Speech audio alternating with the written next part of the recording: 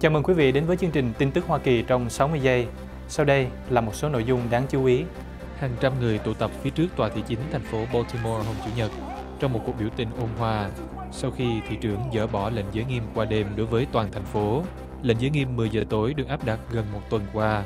Baltimore lâm vào tình trạng hỗn loạn vào tuần trước sau tang lễ của Freddie Gray, 25 tuổi, một người gốc Phi qua đời vào tháng trước trong khi bị cảnh sát câu lưu. Cảnh sát ở bang Texas đã giết chết hai người đàn ông mà họ nói là bắt đầu nổ súng bắn một nhân viên bảo vệ an ninh trường học bên ngoài địa điểm đang diễn ra một cuộc thi vẽ tranh về nhà tiên tri Muhammad.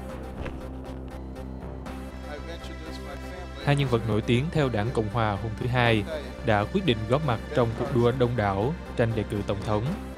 Bác sĩ giải phẫu thần kinh đã về hưu Ben Carson và cựu giám đốc điều hành công ty Hewlett Packard Carly Fiorina đã chính thức loan báo ý định tranh cử. Đó là nội dung bản tin hôm nay. Xin tạm biệt và hẹn gặp lại.